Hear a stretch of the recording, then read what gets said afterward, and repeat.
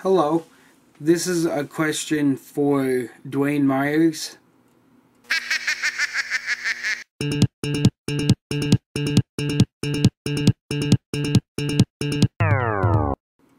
Okay, Duane. Um, the first thing I want to do is show you my new knife.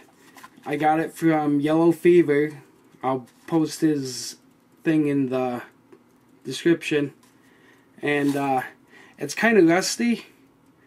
And I'm not sure how to clean it to get some of the rust off. Because I, I don't think it can be back to the way it originally was.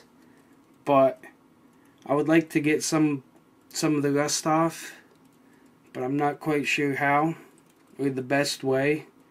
Anything that you can tell me would help. And, uh, thanks.